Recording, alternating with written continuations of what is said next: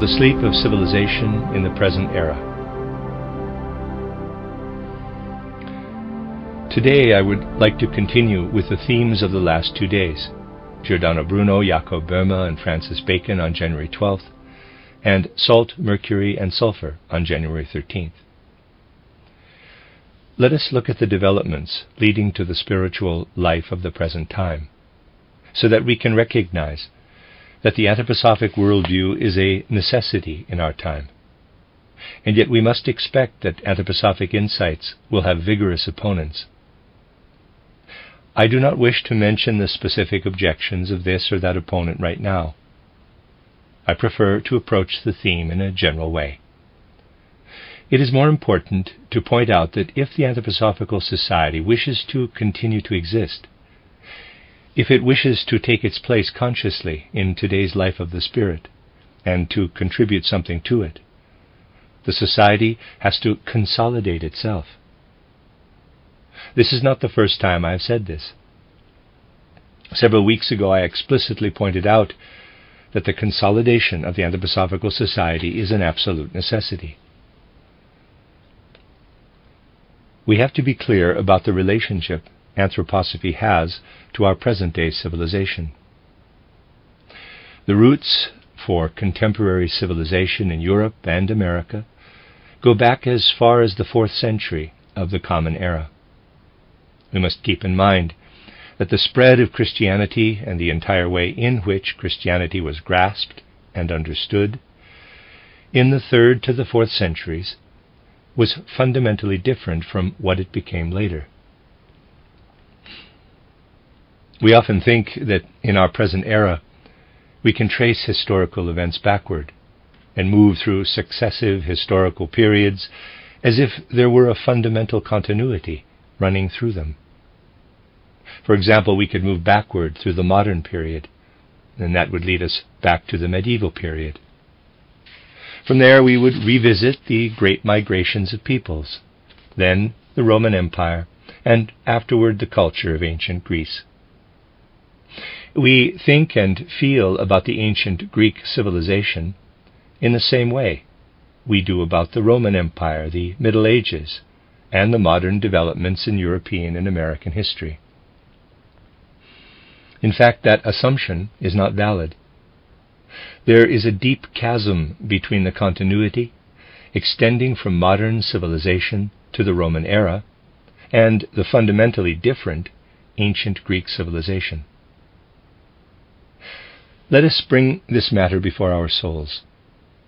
When we recall the Greece of Pericles or Plato or Phidias, or the Greece of Sophocles and Aeschylus, we are looking at a soul consciousness that is rooted in the ancient mystery culture and ancient spirituality. Above all, in ancient times, classical Greek culture still had within it what I characterized yesterday as a living experience of the real inner processes of the human being, including what I referred to as the salt, mercury, and sulfur processes. The ancient Greek way of thinking and the Greek way of experiencing the human being was closer to the reality of the human constitution than any of the characterizations put forward since the 4th century CE. And we would include the three individuals we spoke about in the last two days among examples of those who had represented a transition to the complete loss of a true understanding of the human constitution in modern consciousness. Personalities such as Giordano Bruno, Jacob Boehme, and, up to a certain point, Francis Bacon, struggled to achieve a true understanding of the human being they were unable to reach the full understanding they sought. When we go back further than the Roman era and enter ancient Greek culture, any talk about the limits of knowledge of the human being had no meaning, for the ancient Greeks could grasp the nature of the human being and understood humanity's place within the cosmos. On the other hand, the Greeks did not have the mechanistic view of nature that now holds sway in scientific circles today.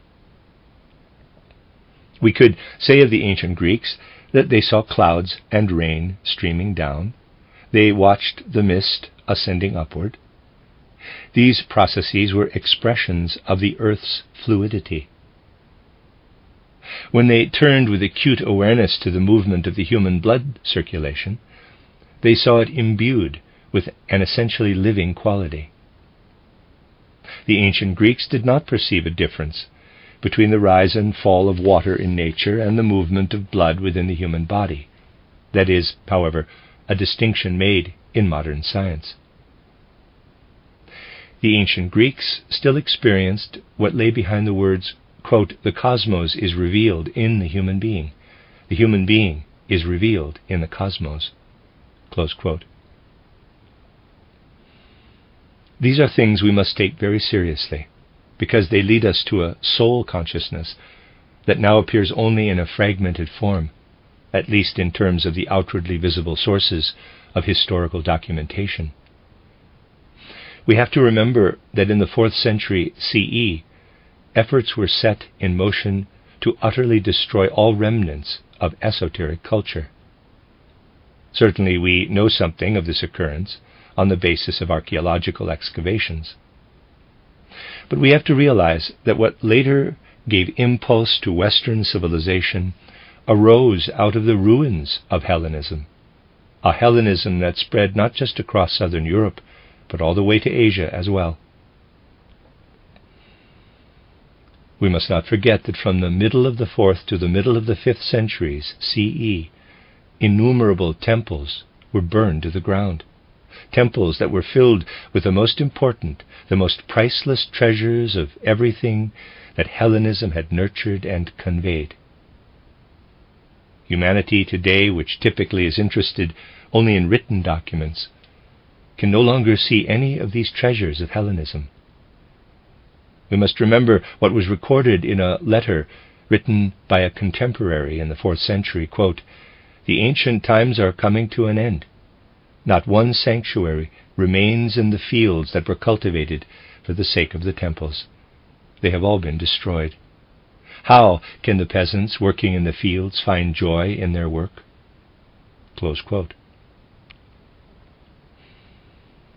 Today it is unimaginable how much was completely destroyed between the mid 4th century and the mid 5th century.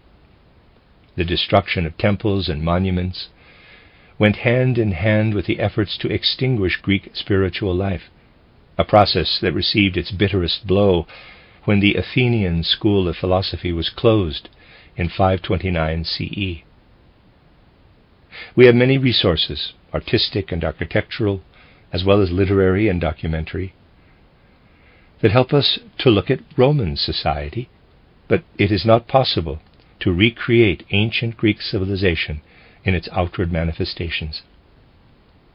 It is true that a great deal of ancient civilization was consciously preserved right up through the medieval period. The Benedictine order, for example, participated in this. But even Saint Benedict built the first Benedictine cloister on a site that at one time was held sacred by pre Christian peoples. Whatever had a connection with the past had to disappear. And indeed, these traces did disappear. If you think of so called normal human beings, it is difficult to understand the impulse for destruction that swept across southern Europe, western Asia, and North Africa. We can understand it only if we recognize that the entire consciousness of humanity during that period was completely different. I have often pointed out that it is simply incorrect to say that, quote, nature or world history can never make a developmental leap. In human history, such a leap can take place.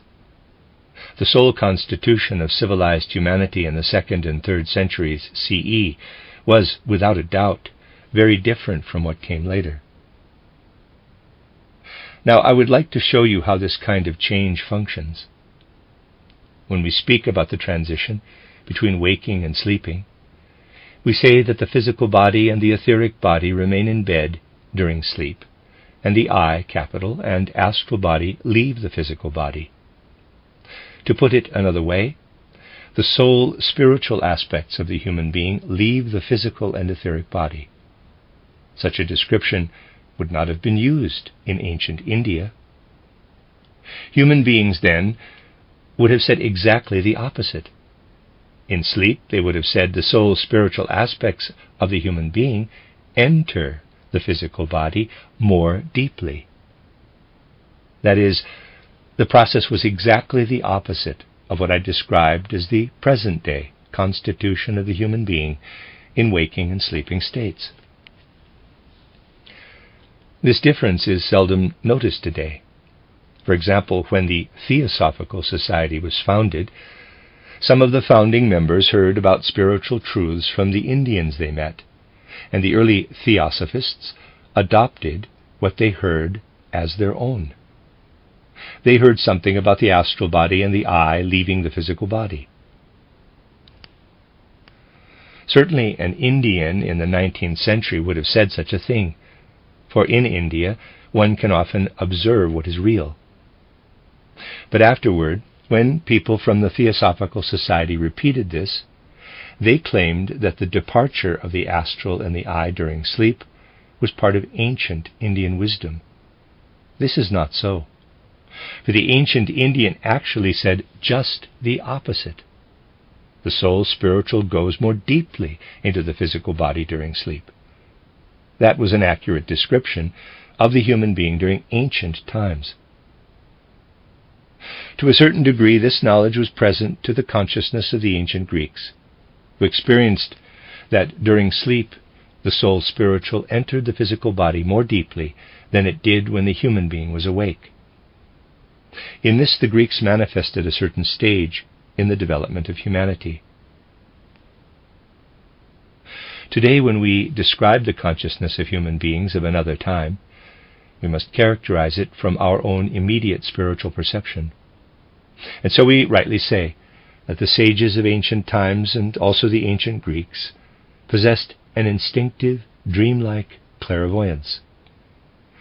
That is what we would say from our perspective. But those who lived in ancient times would not have regarded their experience as dreamlike. They felt as if they were awake during their form of clairvoyance when they perceived the world in mighty pictures, as I described it yesterday, it felt as if this was an intensification of their consciousness. They also knew that when they sank into their inner being and saw what occurred within the human being, they experienced themselves in relation to the universe. They knew that the processes within the human being were equivalent to the processes in the universe. During sleep, the ancient Greeks perceived that the human being dipped more deeply into the physical body. In deep sleep, their heightened consciousness once again would be silenced, dimmed, and even become unconscious. They attributed this to the influence of the physical body that surrounded the soul and led it into sinfulness, into iniquity. Precisely this intuitive perception gave rise to the ancient consciousness of sin or iniquity. The Greek consciousness of sin led back to an even more ancient perception that the soul's descent into the physical body prevented the soul from having sufficient freedom to live in the spiritual world. If you think through all that I have said about this, you would have to say that the human being in ancient times was conscious of being a spiritual being living within a physical body. It would not have occurred then to anyone that the physical body was the defining characteristic of a human being. The essentially human quality in that era was expressed as, quote, the thinker, close.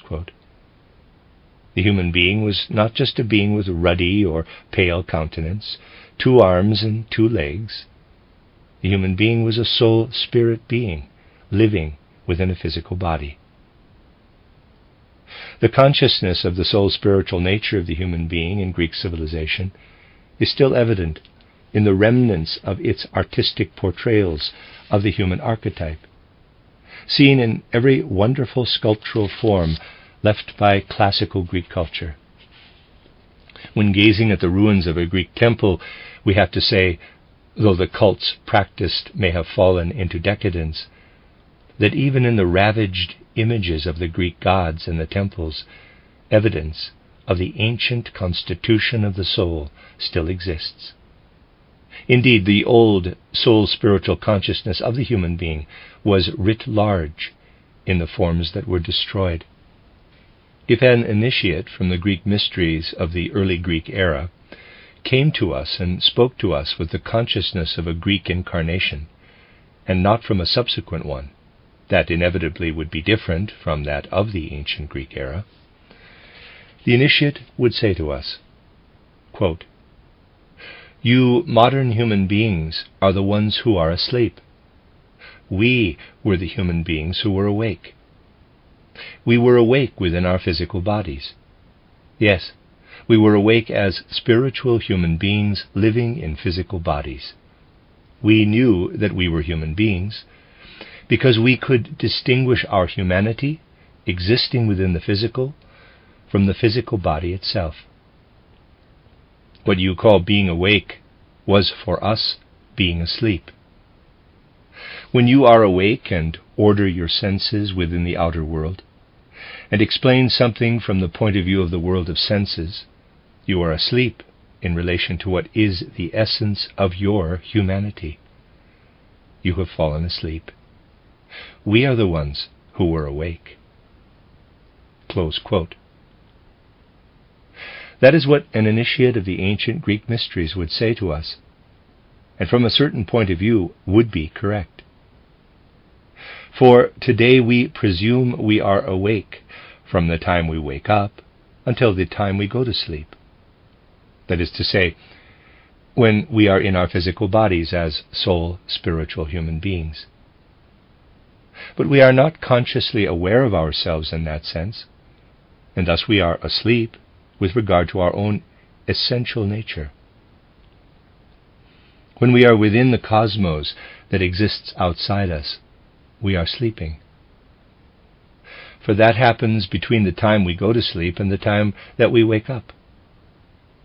We need to learn how to be awake when aspects of our being are out in the cosmos. With the same intensity with which the human beings in ancient times were awake within their bodies, the modern human being has to learn how to be awake when the astral and the I are outside the physical body, when we are actually within the outer cosmos. We are in a state of transition Compared with the human being in ancient times, we have been asleep with regard to the essential aspects of our humanity. Now we are at the point when we should awaken in a new way to a new kind of conscious wakefulness. And what role does anthroposophy play in this? Anthroposophy simply wishes that the human being would learn how to remain awake outside of physicality. And so anthroposophy comes along and tries to awaken the modern human being, the person the ancient initiate regarded as asleep. Anthroposophy wants to awaken the modern human being, but this sleepy head refuses to wake up. Anthroposophy wants to sound the alarm. In the Oberufer nativity play, the shepherd named Huckel tries to awaken his fellow shepherd, Buckle. He calls out, quote, The birds are already singing. Buckle rolls over, quote, Let 'em sing. They've got little heads and they don't need much sleep. Huckel tries again. Quote, the sky is falling. The sky is falling. Buckle ignores him. Quote, so what? Let the sky fall in. It's already been up there long enough. That, of course, is not exactly what anthroposophy is saying. Rather, the call is, quote, the spiritual world wants to come in. Wake up. Let the light of the Spirit shine. Anthroposophy wants the sleeper to wake up. Modern civilization needs an awakening. But humanity wants to go right on sleeping. I want to remind you that Jacob Boehme, who was filled with folk wisdom, and Giordano Bruno, who stood within a spiritual community, preserved a great deal from ancient times, and lived within a memory of the ancient state of wakefulness. Francis Bacon, however, had the impulse to justify the sleepiness of modernity. That is, he grasped more deeply than we have been able to do in these past two days what is characteristic of our era. The modern human being cannot reach as deeply into the physical as humanity could in ancient times. For modern human beings during sleep do not enter more deeply into their physical body. Instead, we go out of our physical body during sleep. But modern human beings must also learn to come out of their body during the waking state, for only thereby can we be in a position to know ourselves once again as human beings. Nevertheless, the temptation to prolong our sleep is very great. Quote, Buckle, the riders are already galloping along the roads. Quote, quote, Let them gallop. They still have a long way to go. Du Bois-Reymond said, and I am not speaking now of the shepherd Huckel in the Christmas play, Human knowledge has its limits. You cannot force your way into the phenomena of nature nor into the secret workings of nature. You have to accept the limits to human knowledge. But anthroposophy says, quote, we must strive to go further and further. The impulse of the spirit already is sounding. Du Bois-Reymond would reply, quote, Let the impulse of the spirit resound. It still has a long way to go. It will take natural science until the end of time on earth before all of the secrets of nature will be revealed. Human beings already have a justification to stay asleep. The argument to admit to the limits of our knowledge of nature is reason enough for remaining asleep and not bothering to pursue knowledge of the nature of the human being either. There are plenty of sleeping pills in our present age, and you may hear them spoken about right here. Whenever possible, people prefer to listen to what is easily understood, just as if they were watching a film. People do not like it when they have to pay attention and work on something inwardly. Most people prefer to dream about cosmic mysteries rather than to engage them with their inwardly active thinking. The path to waking up, however, begins with thinking, for a thought wishes to become more developed through its own activity. That is the reason why I dealt with thinking so vigorously in my book titled The Philosophy of Freedom several decades ago. My dear friends, I want to bring something to your attention. Think back over the dreams you have had and see if you ever have had a dream in which you did something that you would have been ashamed to do during the day. I mean that seriously. Admittedly, there may be a number of people sitting here who have never had such a dream, but even they will know someone who can tell them of such an experience. There will be those here who can admit that sometimes they have had dreams about doing something that they would not have done in a waking state, which would have made them feel ashamed if they had done so. Let us look at the pervasive, overpowering sleep of our entire civilization, in which people just want to dream through all manner of cosmic secrets. Here comes anthroposophy saying exactly the same words as the shepherd, Huckle, cries out to his fellow shepherd. Quote, Buckle, wake up! And the people who are dreaming today are supposed to wake up. I can assure you that some things people do during this great sleep of civilization they would not do if they were really awake. That is a fact. But instead, the dreamer says, quote, How am I supposed to believe that? The dreamer does not give a second thought to what the impossible things that occur in dreams would look like if they were carried out during a waking state. But unconsciously, many fear that there are things they must not do when they are awake. Naturally, I don't mean this in a trivial or a narrow minded way. Nevertheless, there are many actions that we consider perfectly acceptable and normal, which we would see in a completely different light if we were really awake. There is a deep seated fear of awakening and being shocked by what is deemed acceptable in the sleep of civilization. If we had awakened from this profound sleep, we would no longer feel comfortable dissecting a liver side by side with the brain. We would feel desperately ashamed to follow some of our current research methods, if we truly had awakened in an anthroposophic sense. But we can hardly expect that individuals who stand right in the midst of today's research methods would awaken from one day to the next and suddenly adopt an anthroposophic sensitivity toward research methods without any explanation. We certainly notice the willingness of people to justify the sleep of civilization. Think about the immense joy a dreamer has when something that was dreamt actually occurs a few days afterward. It is immediately evident that these superstitious dreamers are overjoyed when an event in a dream becomes a reality, and that actually occurs occasionally. Dreamers among scientists and mathematicians, whose ideas affect entire civilizations, calculated a specific orbit for the planet Uranus, according to the Newtonian law of gravitation, and the elaboration of the Newtonian formula by later mathematicians. But the actual orbit of Uranus did not correspond to the orbit based upon this calculation.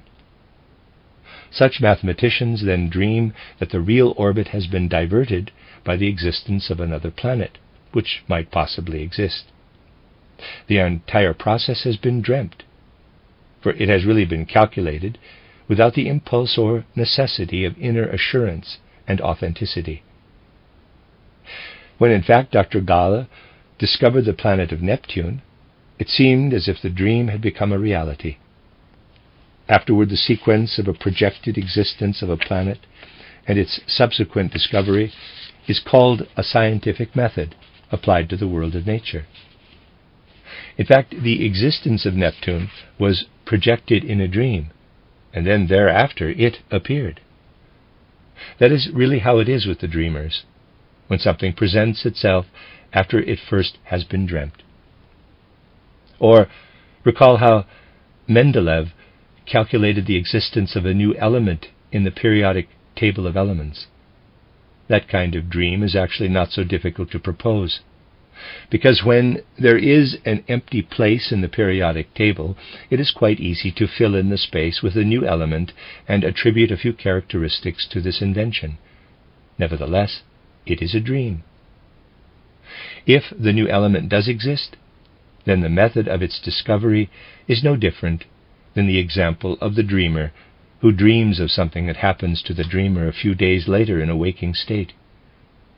The event in waking life is claimed to be a verification of the dream. The ordinary dreamer does not describe the event in real life as a verification of the dream, but scientists do say that they have been able to verify what previously had been imagined we must first of all fundamentally understand how our modern civilization has become a civilization asleep, and how an awakening is absolutely necessary for humanity. Above all, everyone who feels drawn to spiritual science must see right through the tendency toward sleep that permeates our present time. At any moment, you as a dreamer may realize that you are asleep it may suddenly come to you I am dreaming. Humanity must be able to experience deeply what the philosopher Johann Gottlieb Fichte expressed so energetically. Quote, the world that is spread out in front of the human being is a dream, and everything the human being thinks about the world is a dream of a dream. But we must not fall into the error that we find in the philosophy of Schopenhauer. There is little to be gained if we simply turn to a theory of knowledge and declare that everything is a dream. It is not our task to point out that the human being dreams, and that the human being can never do more than dream. For if we came to the boundary of these dreams, then on the other side is the thing in itself, which by definition can never be reached through the senses.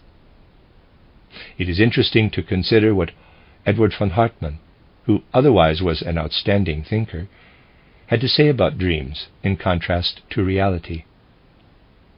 He said that the human being dreams everything that is present in consciousness, and that behind the dream lies a, in quotes, thing in itself, about which the human being knows nothing. Hartmann pushes the thing in itself to the limit. The table in itself is contrasted to the table we see before us. The table that we see in front of us is a dream, and behind it is the table in itself. Hartmann actually differentiated between the table's appearance and the table in itself, between the chair's appearance and the chair in itself. But he is unconscious of the fact that the chair on which he himself is sitting has anything to do with the chair in itself. For it is difficult to actually sit on a chair that is only an appearance of a chair, one that is no more than a dream. Likewise, the dreamer has to lie down on a real bed. However, this whole play of words that proposes that the world is no more than a dream can be very useful as a preparation for something else. What would that be? It prepares us for an awakening, my dear friends. The point we are making is not to persuade you that the world is a dream. The discussion of the idea becomes the spur to awaken within ourselves. And awakening begins with an energetic grasp of our thinking, an active seizing hold of our thinking. An awakened thinking is precisely what leads you into everything else. The impulse to self awakening is imperative today. Certainly, anthroposophy can be placed before the world.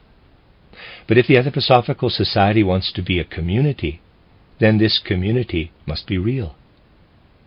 If you, as an individual, wish to live in the Anthroposophical Society, you also must experience the Anthroposophical Society as a reality. You must be permeated by the will to awaken, and not take it as an insult when someone says to you, Wake up. Your wakefulness is imperative. Allow me to say this again in just a few words. The misfortune that has just befallen us, the burning of the Goetheanum, must be a summons to each individual to wake up, a summons to the Anthroposophical Society to take action, a summons to make our society a reality. The real being of the society is precisely the being we have experienced, which I characterized at the end of the Christmas course of lectures. The living streaming from person to person within the Anthroposophical Society must be real. A lack of love between one another rather than mutual trust has become widespread in the newest phase in the life of the Anthroposophical Society. And if this lack of love gains the upper hand, the Anthroposophical Society will collapse. Building the Goetheanum has brought many beautiful qualities living within anthroposophists to the surface. But parallel to this, the society itself should have been strengthened. It is true that many fine qualities were reaffirmed at the end of the recent course of lectures, similar to the qualities that were evident during the construction of the Goetheanum. And these qualities surfaced again during the night of the fire. But these qualities must be cultivated.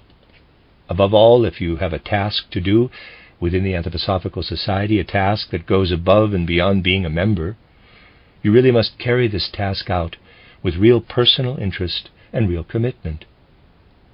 A deep sense of personal interest and real commitment toward the work of the Society are unfortunately exactly what is missing.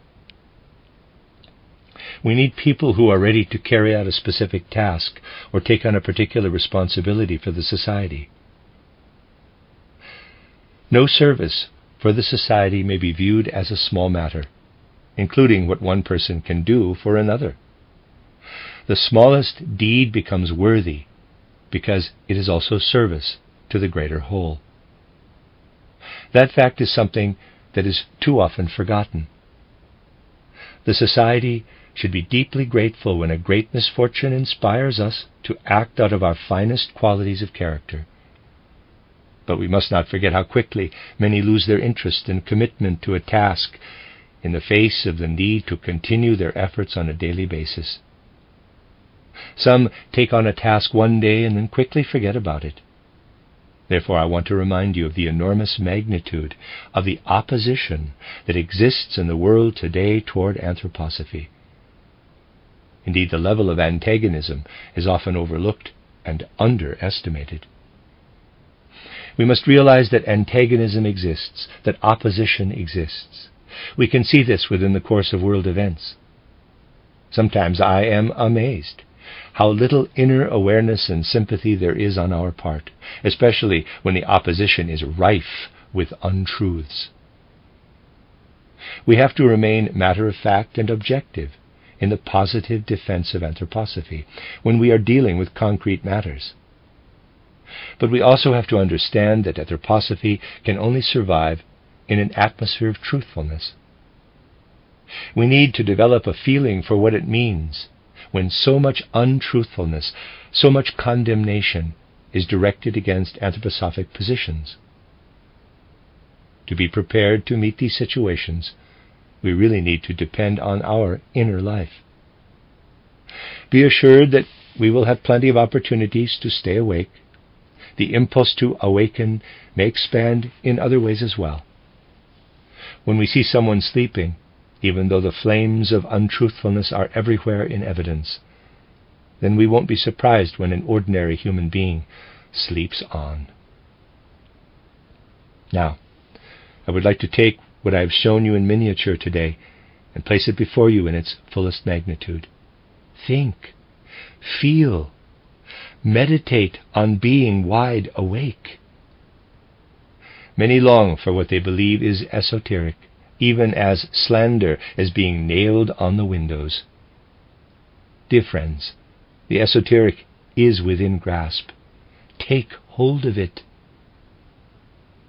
But the most esoteric task that exists within the Anthroposophical Society today is the will to awaken. This will to be awake must take precedence in the Anthroposophical Society. An awakened Anthroposophical Society will be the ray of light that will ignite the will to awaken our entire present day civilization.